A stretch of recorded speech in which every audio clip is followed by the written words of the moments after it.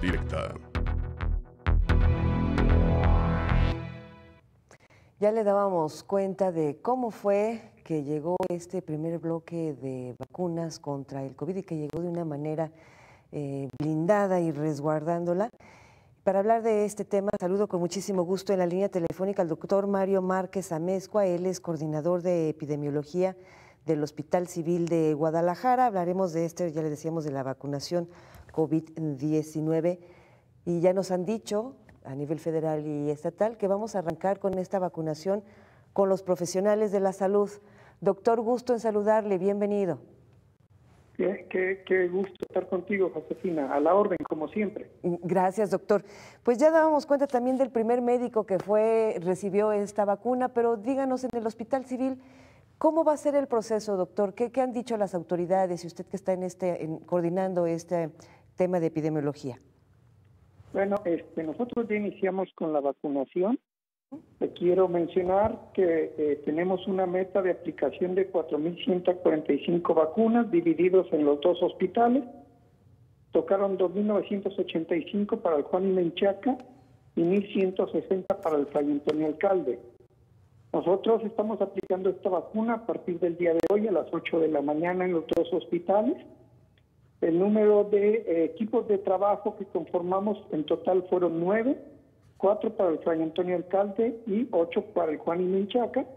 El total de personas eh, que componen estas, eh, estas células que le hemos llamado así, son equipos de trabajo de vacunación, son 108 personas. Con estas 108 personas, entonces ya en los hospitales civiles estamos vacunando al personal de primera línea COVID. Eh, em, platíquele a la audiencia, doctor, ¿cuáles son los de la primera línea? ¿Son enfermeras, enfermeros, médicos?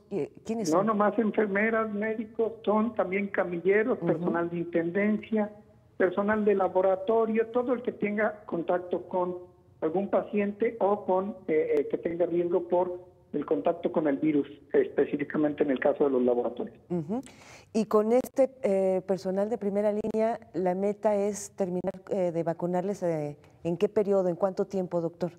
Sí, nosotros tenemos como el tiempo ideal son tres días, o sea que el viernes por, por la tarde noche tendríamos que aprovechar la vacuna para que cumplir con estos tres días y vacunar a estos 4.145 compañeros de los hospitales civiles.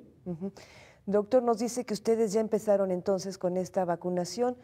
Hay muchos eh, mitos y realidades de que puede haber em, algunas este, consecuencias después de la vacuna. Eh, ¿Qué ha observado usted o qué le han reportado? No, simple y sencillamente nosotros estamos eh, dando a conocer las contraindicaciones absolutas que hay para que nuestro personal no se vacune y no tengamos el riesgo de un evento adverso a la vacunación. Entre las contraindicaciones absolutas son las personas que recientemente hayan presentado COVID y aún no se recuperen. Recordemos que tenemos que pasar 14 días aproximadamente para las personas que desarrollan COVID o asintomáticos o con una sintomatología leve. Las personas que tienen algún tipo de antecedente de alergia grave, que hayan tenido reacción anafiláctica, también este, es una contraindicación absoluta de no ponerse la vacuna. Las que han recibido transfusión sanguínea o aplicación de derivados, algún eh, componente de la sangre, que haya contenido anticuerpos o que esté en o haya estado en tratamiento con plasma o anticuerpos contra COVID en los tres meses previos al día de la vacunación y las personas con hipersensibilidad conocida los componentes a la vacuna, en especial a, un componente específico, el que se llama alcohol lietileniclol. Y estas personas también este, hay que tener mucha precaución con personas que hayan estado en, en, eh, eh, eh, estado de embarazo y menores de 16 años. Esta no es una complicación absoluta. Si alguna embarazada se quisiera poner la vacuna, en este caso del personal de salud, sí nos tendría que firmar un consentimiento informado. Y también, este, Josefina, hay algunas precauciones para eh, posponer un poquito la vacuna, como son aquellas personas que presenten temperatura mayor a 38 grados centígrados, algún trastorno hemorrágico, menos de 30 días de haber recibido la vacuna contra influenza y que recientemente, como ya lo, lo, mencioné, que hayan tenido COVID y que aún tengan eh, eh, eh, síntomas en este padecimiento. doctor, se les aplica la vacuna y luego, mm, no sé cuál sea el protocolo, pero el vacunado o la vacunada queda en observación algunos minutos?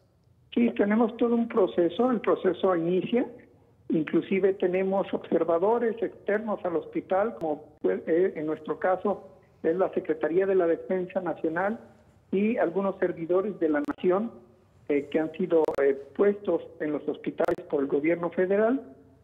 todo inicia con la verificación de que el personal que va a ser vacunado sea parte de la institución y sea el mismo personal. se captura en una plataforma, posteriormente se pasa al proceso de vacunación que dura aproximadamente tres minutos. Después del proceso de vacunación tenemos nosotros instaladas unas salas de observación en donde la persona vacunada, el personal de salud vacunado, eh, eh, dura 30 minutos y nosotros estamos observando cuáles pueden ser los, eh, los, los signos y síntomas que pueda presentar la persona vacunada. Después de esos 30 minutos se les da un comprobante de vacunación y se les recuerda que se les está aplicando esta vacuna, que necesitamos dos dosis para que regrese en 21 días el personal a por su segunda dosis. Eh, doctor Márquez Amezcua, en la primera hora de este noticiario platicamos con el doctor Jorge Hernández Bello y ante la pregunta de que si hoy estamos muy mal con el tema del crecimiento de personas enfermas, y hospitalizadas, que podríamos estar peor si no hace cada quien lo que le toca.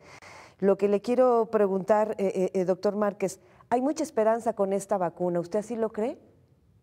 Sí, yo creo que la vacuna es una, una esperanza, tú lo has dicho, y, es la única esperanza real para poder volver nosotros a la normalidad. Esperemos que la vacuna funcione adecuadamente Claro que la esperanza no nos quita también ser realistas de algunas situaciones como cuánto tiempo nos va a durar la inmunidad de la vacuna y esta, eh, eh, esta pues, nos lo dará el tiempo específico, pero también estamos muy contentos porque sabemos que todos los ensayos en los que se ha aplicado la vacuna actualmente han tenido resultados muy favorables, inclusive con la nueva cepa inglesa que, que, que está afectando ahorita gran parte del mundo.